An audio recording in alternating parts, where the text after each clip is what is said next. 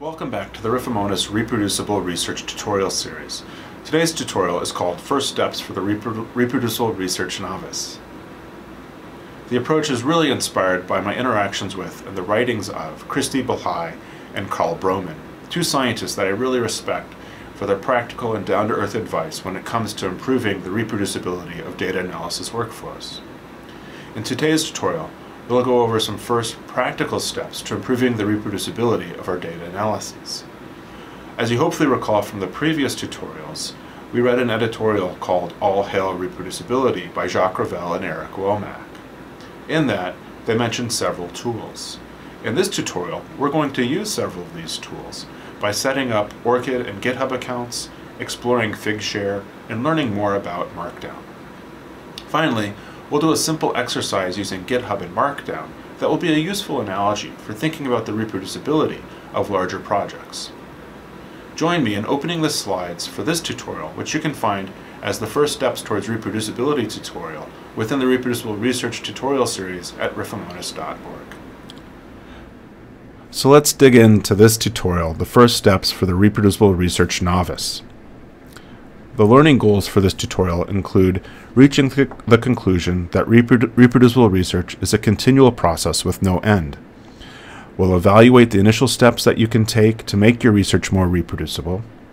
We'll explore different interfaces that you can use to make your research more reproducible. Then we'll learn a very useful tool called Markdown that allows us to write simple or even more complex documents. And then finally, we'll use a tool called version control without even knowing it.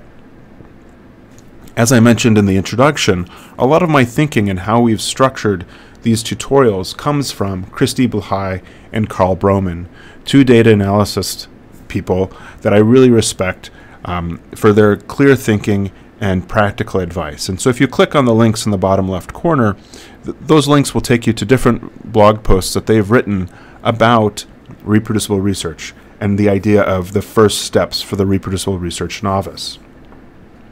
So the first point I want you to keep in mind is don't feel like you need to make everything 100% reproducible in your first go. That's a huge goal. And we might like to be smug and think all research should be reproducible. But as we've already discussed in the previous tutorials, that's a really that's a high bar to try to reach. Second, you'll quickly realize, as I've already mentioned, that that's a fool's errand. Nothing, nothing will ever be fully reproducible. We can do our best, but over the long arc of time, things change, right? We've mentioned this in the previous tutorials. Databases change, software change, there are differences between different operating systems. And so nothing will ever be fully 100% reproducible. What I encourage people to do is with each project attempt to add one small element to make your work more reproducible. So with this project, identify something that we do here. Uh, perhaps it's uh, setting up a Figshare account and making sure that all of your derivative data that goes into making a plot ends up on Figshare. Perhaps it's being really diligent about putting your sequence data and your metadata into the sequence read archive. So with each project, you layer on new skills, new elements to make your research more reproducible. So some first steps that I've already mentioned, you could get an ORCID account. So many journals nowadays require the corresponding author at least to have an ORCID account. You can post the data behind your figures into a tool like Figshare. You can make your code publicly available, and then also um, I didn't list it here because it's kind of, I assume it in people, but make sure that your sequence data is publicly, publicly available in a database. Um, and, and the appropriate database for sequence data is the Sequence Read Archive, the SRA. So the first tool that we're going to talk about is ORCID. And so to motivate this, um, ask yourself a question. If you publish a paper and your email address is on that manuscript, or you put out some tool or some resource that's attached to your email address, do you think your current email address will be any good in 10 years? Right?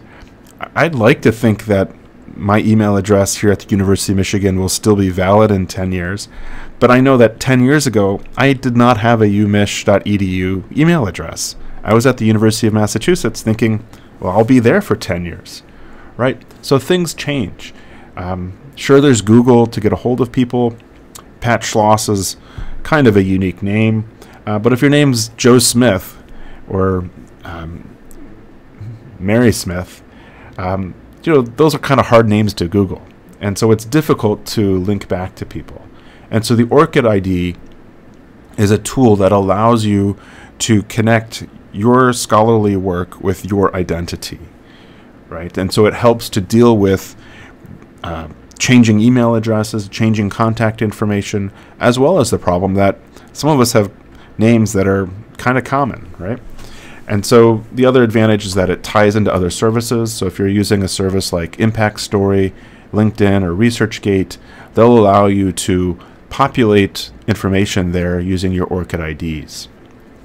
Uh, it's also free, uh, which is really nice. And unlike these other services like LinkedIn, um, ORCID doesn't send you spam.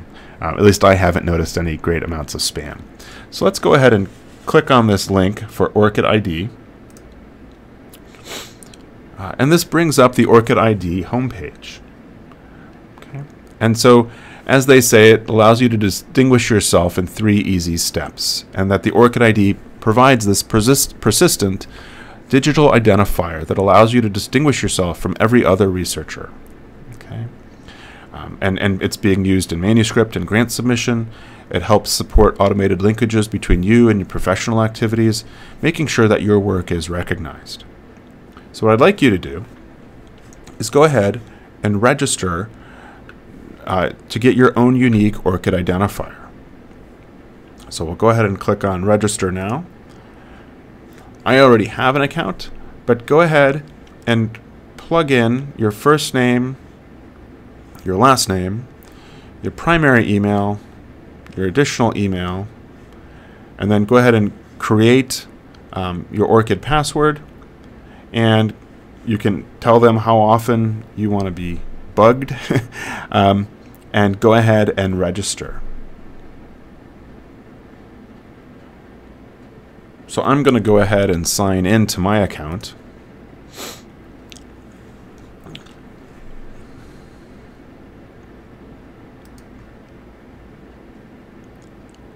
And I've been on ORCID for a while, and this is something that might require a fair amount of curation depending on um, on what you want to provide.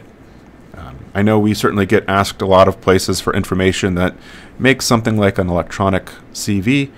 Um, I think ORCID is probably something worth investing a fair amount of time in. Um, but you can see that it's it has a number of my publications in here. I notice there's a few missing that I should probably go ahead and add. Um, it also has information here asking about education, employment, funding sources, uh, keywords, um, various bits of information. And so, again, this is a site that someone could come to to learn about me. Okay. To, to illustrate this, if we go to PubMed, and let's look for one of my papers.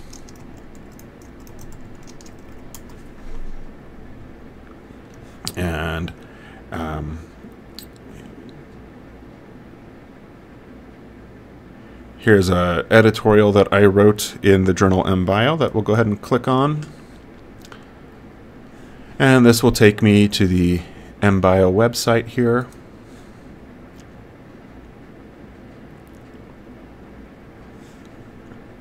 And if you look down here under ORCID, on the on the left on the right side of the screen, sorry, uh, you'll see there's a profile for Schloss PD, profile for Casadevall A, Arturo Casadevall. So let's let's go ahead and see what Arturo already has in here. Um, and so he doesn't have any information that's publicly available, which is fine. Um, if we come back and we look at my profile, you'll see that I have this is my public profile, right? So this is what you would see about me if you came and looked at my information. Okay, and so you could see all the papers that I've written, and I can imagine that. Like I said, this would be useful for people that have a name that's fairly common, that's not unique within science, for people that perhaps move around a lot, for um, you know people who change their name. Um, I know that I know several women who um, have changed their name over the course of their uh, scientific career. Um, but again, it's a it's a useful tool for keeping track of your identity with your scholarly work, and um, you can see, you know, Arturo's had very little information in it. Mine has a bit of information, right? It, it links you to um, my works, and I could add more information if I wanted to. Ultimately, the value of ORCID comes from uh, what do you want to get out of it, okay? And so, the first thing I'd encourage you to do is to start populating this with information. Um, it is useful. I also know that we get inundated by a lot of requests to create things like this. Another useful tool is like your Google Scholar profile, but there again, that's one more thing to do. Um, the advantage of ORCID is that it's nonprofit. Uh, you control it. Um, the advantage of something like Google, Google Scholar, um, is that everybody uses Google. um, but at the same time, it's commercial, and you're not quite sure what's going on with the information. Um, and and so, ORCID is again a tool that many journals are requiring at least one of the authors, typically the corresponding author, have an ORCID ID. So for no other reason, it makes sense to have an ORCID ID. Great, so returning to the slides, now I want to talk briefly about posting the data behind your figures. This is something really simple that you can do uh, to make your work more reproducible and more transparent. So one question might be, well, what's wrong with posting the data on a private server? My lab has a website. Why don't I just put all the data for my lab on that website? So, so think to yourself, well, what, what could be problem with that? And so one problem would be that, um, again, you might move. You might leave science. Your PI that you work for now might move. Uh, my PI, while I was a, a postdoc, um, moved institutions. My graduate advisor uh, retired in the last few years. So if we'd have put data on their servers, um, it would have been difficult to track down that data.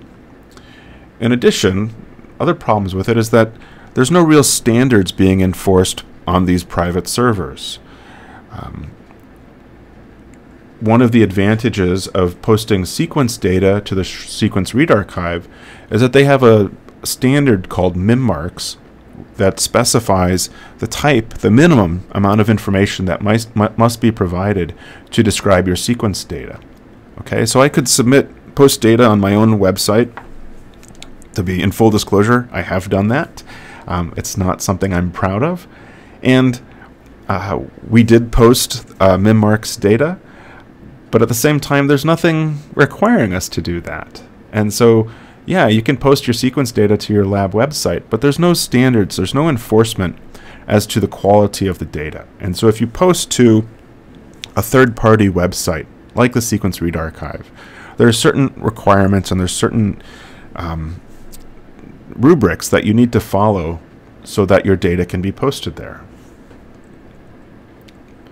Other options for, say, non sequence data would be to post your data to a stable website. So one of the problems with posting to your lab server is that lab server uh, might move, the address might change, um, the PI might leave, you might leave.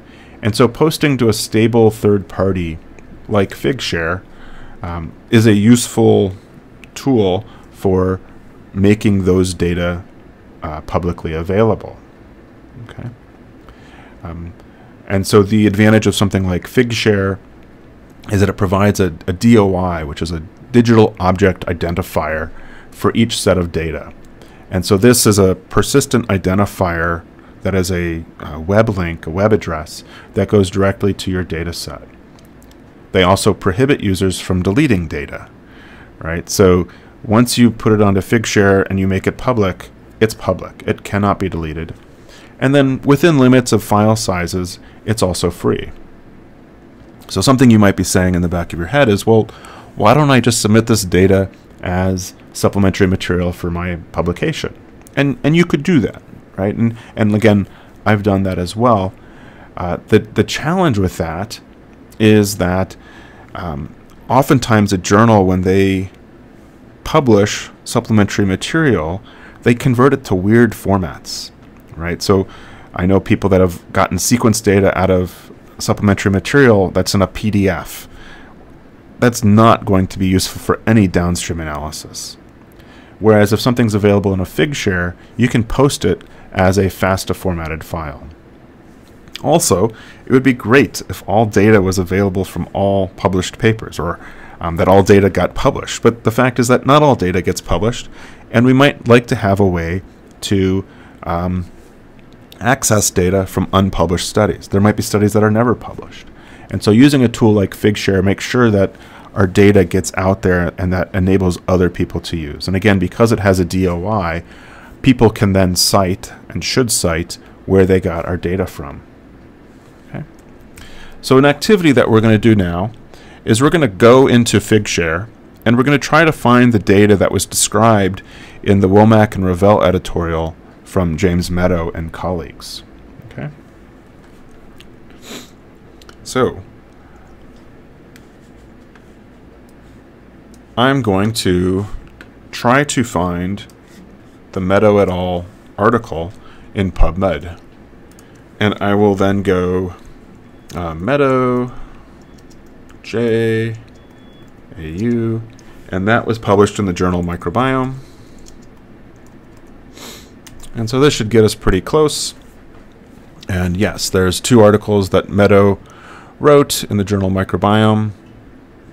And this is the one we want. And I'll go ahead and click on uh, the Microbiome Journal version. And what I'm looking for now is mention of the Figshare data. And so hopefully that's going to be provided in the methods section here. So I'm kind of scanning this. I'm going to get rid of this pop-up. Go away. Um, aha. And so you see sequence files and metadata for all samples used in this study have been deposited in Figshare. Okay. So this was one of the things we critiqued their GitHub repository for, their paper for, was that yes, they make their sequence files and metadata publicly available, but it's in Figshare. It's not in the sequence read archive. And that's it's great that the data are available. We'd like it to be in the sequence read archive, again, because the SRA is going to impose certain standards on what type of metadata are provided. So we can go ahead and click on this link. And this then brings us to the Lilith Classroom Surfaces page at Figshare. We can see uh, information about how to cite it. We can download it. It's about 200 megabytes. Um, and it's tagged with different keywords. It's got a description of what's going on. They tell you how to cite it and where it's published. Um, we see that there's a swabs.seqs.fna as well as the metadata file.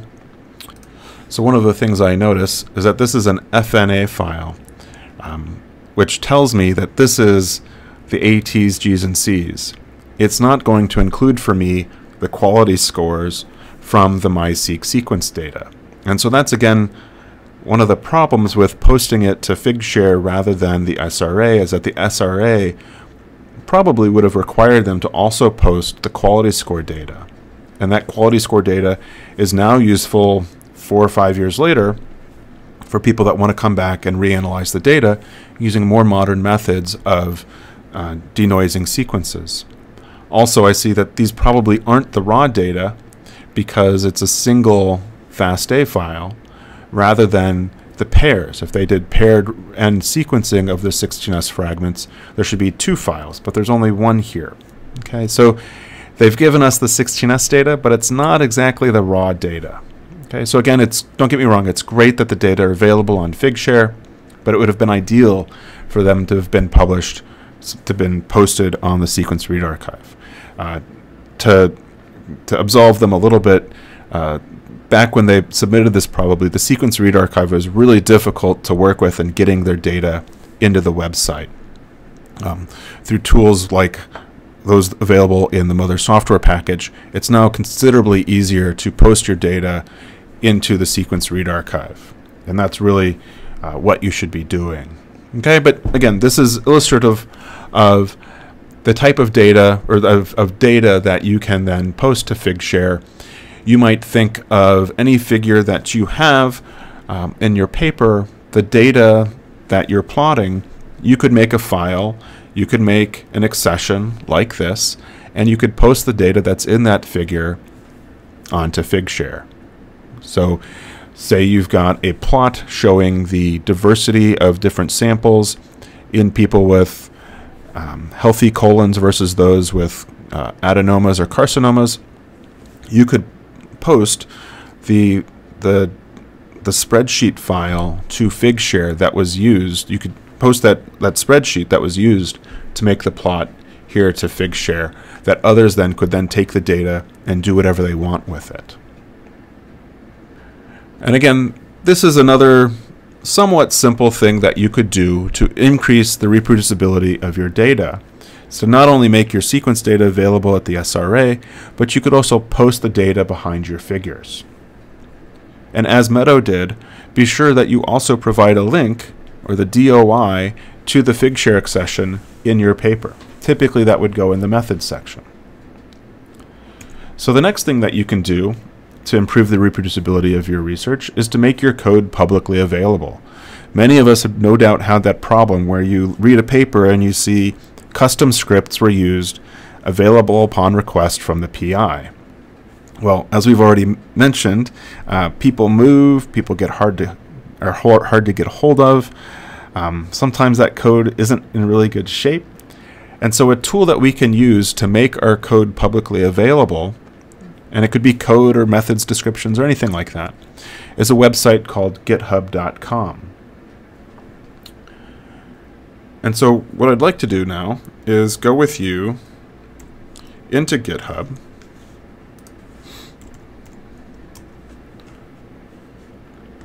And I'm going to log out of my account. And so you should get a website, a web page that looks like this, unless you already have a GitHub account. Okay. And so it's a pretty attractive site. They kind of tell you a bit about GitHub.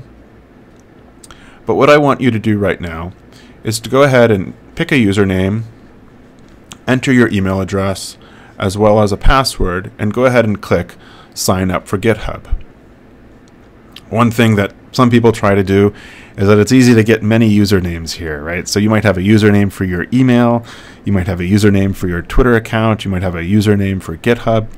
Sometimes it's nice to have a common username across sites, across platforms. That's not always possible, but um, try.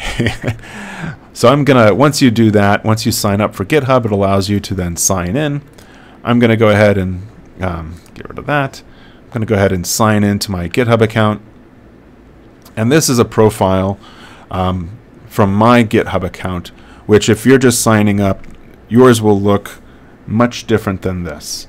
Um, and so this is kind of the profile of somebody that's fairly active in using GitHub for a lot of their research. I'm going to go ahead and click in the upper right corner here to view your profile. And so uh, you can add a picture. Uh, this is our lovely family pig. Um, my name. You'll see I've put my ORCID ID um, into GitHub, my affiliation, contact information. And if you're just starting in GitHub, you won't have any repositories. You won't have any contributions. Okay?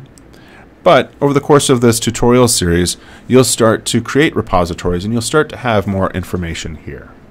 Okay?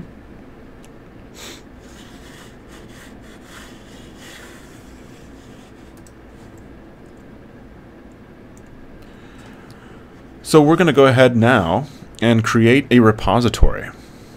So we're going to click up here on this plus sign and we're going to click new repository And the repository name we're going to use is RR underscore practice. So reproducible research practice. Um, I think if you if you wanted to use a space, um, it's going to tell you that it's going to create it as RR hyphen practice. So spaces are bad news when it comes to, um, to to doing a lot of bioinformatics research. So I'm going to call mine RR underscore practice. Um, for a description, which is optional, I'm going to say a repository, ah, a repository to test out my efforts uh, and to make my research more reproducible. You can put whatever description you want. Um, for whatever reason, that's what I came up with. I'm going to make mine public. Um, you should too. GitHub allows you to have um, unlimited public repositories for free, uh, but you'd have to pay if you want to use a private repository. That being said, if you have an academic account, you can use GitHub uh, with an academic account and get permission from them or setting on your your account to have as many private accounts as you want. Just be sure that by the time you submit your manuscript that you switch your your repository from being private to public. But for this exercise and for the purposes of this tutorial series, everything should be done in the public. Okay. We're going to then also go ahead and click initialize this repository with a README. And for now, I'm going to not add a .gitignore file, and I'm going to add a license, the MIT license. Okay. So it should look something like this. And we're going to go ahead and click this wonderful green button. It's very exciting, creating your first repository. And wow, here we go. Your first repository. You might recall what the Meadow et al. repository looked like, and it looked vaguely like this. They had a few more files and uh, I think a directory or two in there. And so now you have a license and you have a file called readme.md. Okay.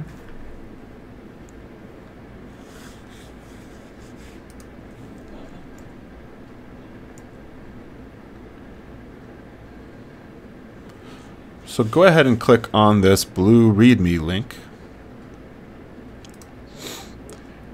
And this brings you to the README file as it's been rendered. It's got a title RR Practice, a repository to test out my efforts to make my research more reproducible.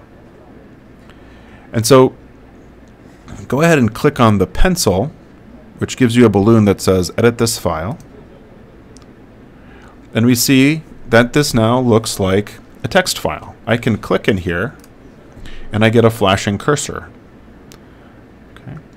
So you'll see this file is called readme.md.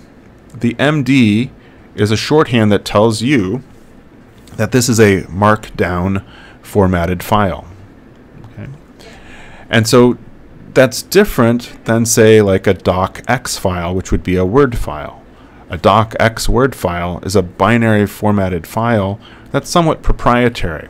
An MD file is a text file. It has no built-in formatting, um, nothing, no special sauce. It's a plain text file. And so what you perhaps noticed was that previously the title of this file within the document was RR practice. So we can go ahead and click preview change and we see that there's some formatting crea created here, right? So we can toggle back and forth, and we can see that, that some formatting is applied. And you'll see a pound sign here for um, to, to create that heading. And there, there are various tutorials that you can see online for um, formatting uh, Markdown. It's meant to be pretty simple. I'm going to go over a handful of simple things with you. Um, type along with me. I'm going to put um, this as a heading after two pound signs. If I do a third one, this is another heading. Okay, and, I'm, and here I'm going to put, um, here is some text for um, some text to describe the overall goal of my data analysis plan. Okay, and if I come down, I can say, here is some more text describing how to use Markdown. Okay, so we've created various headings, and if we look at them here, we now see that um, we get different sized headings depending on how many pound signs we used. These green bars in the margin is GitHub's way of telling us that we've added this information to the file.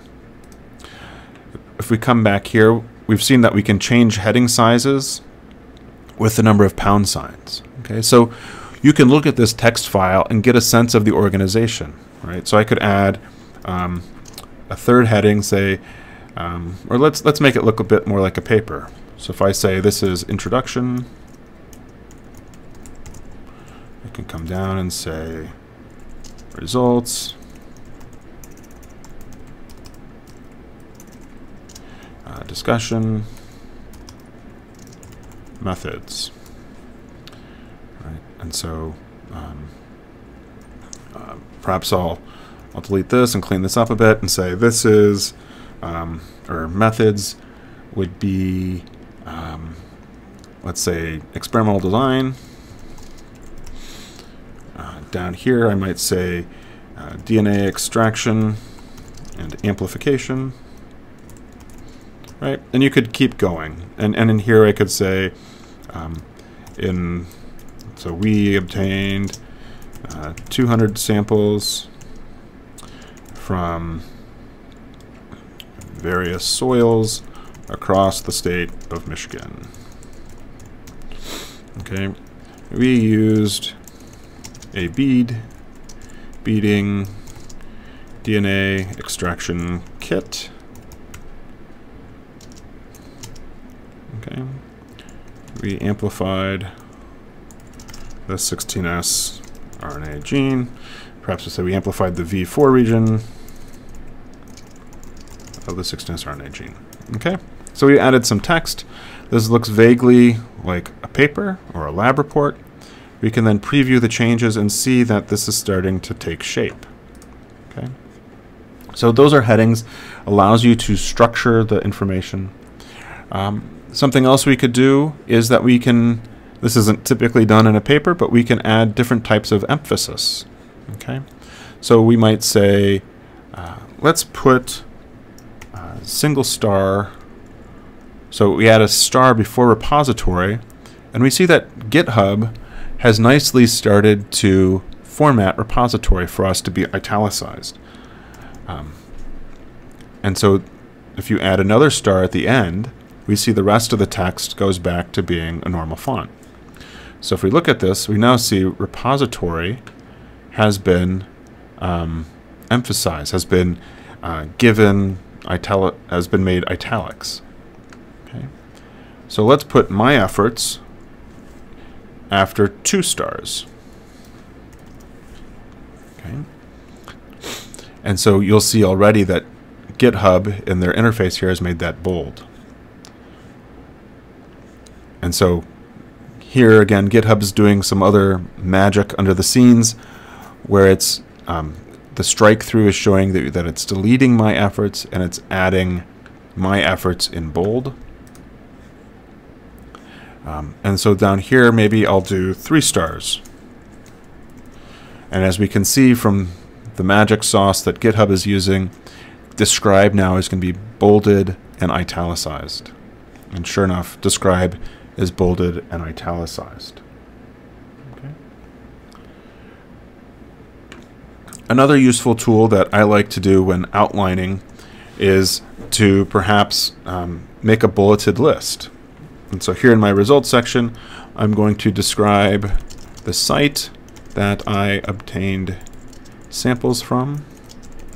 Okay. And so you'll, you'll see that I'm using these asterisks on the first line to create a bulleted list. Um, I'll then say uh, differences in richness between types of sites. Then I'll say say differences in beta diversity between types of sites. Okay. This is not a super exciting paper, uh, but I just want to illustrate the point that you can use these stars. Here in the text mode, we can visually see that's a bulleted list, and we can also then preview the changes and see that on the website at least, GitHub will format that to be a bulleted list. Okay.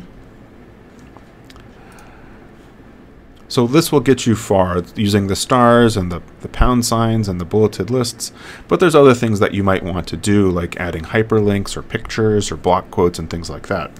So how do we figure out what GitHub uses and what Markdown uses to, to utilize those features? So let's go to our friend Google and I'm going to use GitHub, GitHub flavored Markdown.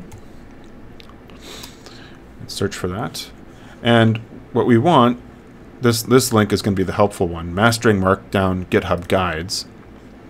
And here you'll see a page where um, they have different examples. We've all already talked about different types of headers, emphasis, types of lists, um, images, links, things like that. Okay. So what I'd like you to do next is within this README file to go ahead and delete everything and create a title that says how to fold a paper airplane. Okay. And what I want you to do is to take maybe the next five or ten minutes, make a list, and uh, write down the methods, the materials and methods section for a paper on how to fold a paper airplane. Okay. So maybe give yourself five minutes. And what I want you to do is go ahead and populate this file with instructions on how to fold a paper airplane. Great. Hopefully you now have instructions on how to fold a paper airplane. Now if we go to the bottom of the page, you'll see a rectangle that says commit changes. In soft gray text it says update readme.md. So I'm going to type something in here that's a little bit more informative than update readme.md, but I'm going to say write instructions to fold a paper airplane. That's it. I'm not going to put anything in this other box, and I'm going to hit commit changes. Okay, and so now we see the result is how to fold a paper airplane, and at least my instructions. Okay, so no cheating. Don't look at my instructions. Hopefully you have your own instructions at this point. Okay, so what I'd like you to do then is take these instructions and uh, or take the link to these instructions from up here, say, and email that to a friend and have them go through your instructions on how to fold a paper airplane. Maybe have them, uh, if they're in the lab with you, have them show you the plane, or if they're uh, somewhere else, have them take a picture and send you the plane. And then ask yourself, does what they folded look like what you had in mind from your instructions. Okay? And what you could then do is go ahead, come back to click edit this page, and um, and in here you could then modify your text to improve the reproducibility of your instructions. You see what I did there? Ha. So based on what they got right or what they got wrong or what they were confused about, modify your instructions to improve your instructions. Okay. And I'm going to go ahead and say obtain a 8.5 by 11 white piece of paper. And uh, maybe down here I'll add 9. Um, I'll say grab or use crayons or Sharpies to decorate your plane. Okay. So I've added some changes. I can then come back down to commit changes. and then I can say added instructions to improve the decoration, or I'll say the design, the aesthetics of the paper airplane. Okay. So they encourage me to use fewer than 50 characters. I'm not going to worry about that at this point. I'll go ahead and hit commit changes. Okay, so now I have an improved version of my instructions. And the cool thing about this is as you saw by sharing this with your friend, anybody can see it. These instructions are publicly accessible to anybody. The other thing we've seen is that we can constantly modify this. We can we can modify and improve our instructions over time. We could perhaps also click on this history button and see how our document has changed over time. And so this again is very powerful in allowing us to to disseminate, um, modify, improve our documentation. So I'm going to go ahead and back to my our practice. The nice thing about GitHub is that if there's a file called readme.md, it renders it on the home page for that repository.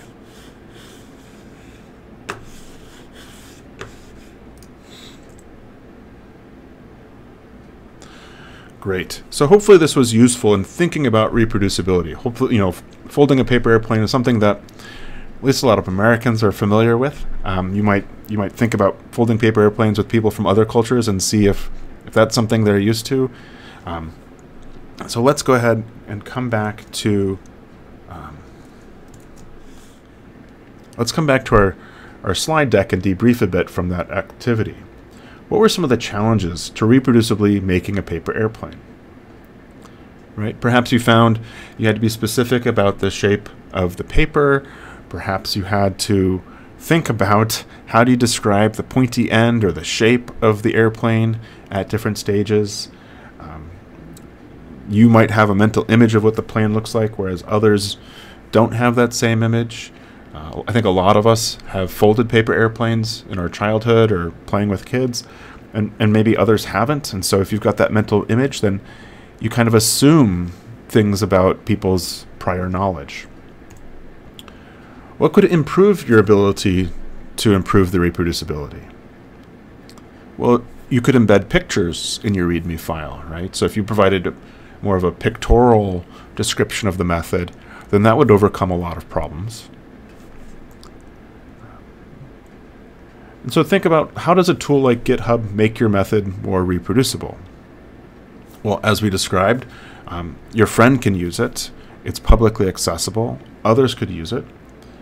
Um, and something that you might also think about, well, say somebody sent you this repository, what what would you do? What could you do with it perhaps? You know, perhaps you could say, well, I'd like to get a bunch of different instructions for making different types of airplanes. I was always jealous by the kids that had really cool um, airplanes that were different than my kind of generic airplane, right? Um, perhaps, uh, perhaps you could compile a bunch of instructions to make an encyclopedia of paper airplanes, or perhaps you could take my boring paper airplane design and you could you could bling it up a bit. You could give it fins, or you could adjust the weighting, or um, talk about adding a paper clip to make sure the nose points down, or adjust the weighting, right? So it's now open. It's something that you can now riff off of, as we we've been saying in these tutorials. And so was this easy or difficult? Right? I think you'll find that it's perhaps a little bit more difficult than you thought it was. You know, everyone knows what a paper airplane is, right? Well, everyone knows what PCR is, right? Everyone knows how to run a gel, right? Well, maybe you have certain assumptions about what other people know how to do, and those assumptions might not actually be correct. And so, where we're going again with this tutorial series is to making things as reproducible and automated as as possible. And so I, I, found this video on YouTube that I, I think is pretty cool. That somebody programmatically engineered a way to fold a paper airplane. Right? So you can imagine that um, people would, um, that, that if you want a reproducible airplane, this thing's going to give it to you, right? I'm sure they could churn out 100 paper airplanes in a minute and they'd all be about the same. Right? And so that's really where we want to go with our data analysis. So, what I'd like you to do, turning back to data analysis for microbiome data, is think about a figure from the last paper you wrote um, or that was in your favorite paper. What would you need to tell someone else how to, to create that figure? Right. So instead of making instructions for paper airplane, um, now what instructions would be needed to make that last figure? What would be the benefits of creating a script to tell someone how to generate that figure? And what would be the challenges? Okay, so again, these are topics that we're going to be going over in the rest of the tutorial series, but it's good to start to formulate ideas about um, your answers to these questions and how you would overcome them, and how not being able to answer them or not being able to overcome them perhaps limits our reproducibility, limits the ability of others to build off of our work. So finally, I have a little exercise for you where I've got on the left six different tools and on the right six different applications. And I'm not going to do this as part of the video. The instructions are there if you hit the P key, or the, the answers are there if you hit the P key. But I'd like you to match the different tools with the different applications. Well, I really hope that you enjoyed thinking more about some simple first steps that you can take to improve the reproducibility of your data analysis. As I mentioned in the last tutorial, if you make it all the way through the tutorial series, there will be an opportunity for you to receive a virtual badge indicating that you completed the material. To receive that badge, a later activity will ask you to demonstrate that you have done the activities in each of the tutorials, things like getting an ORCID and GitHub account, and posting the repository that contains the instructions for folding your paper airplane. Today's motivation was thinking about incremental steps that you can take to improve the reproducibility of each analysis you work on. That being said, in the remaining sessions, the topics are going to get a bit more technical and a bit more involved although hopefully they'll still be quite accessible even to the novice. By the end of this tutorial series, and with much practice, you'll be what I call a full-stack reproducible research data scientist.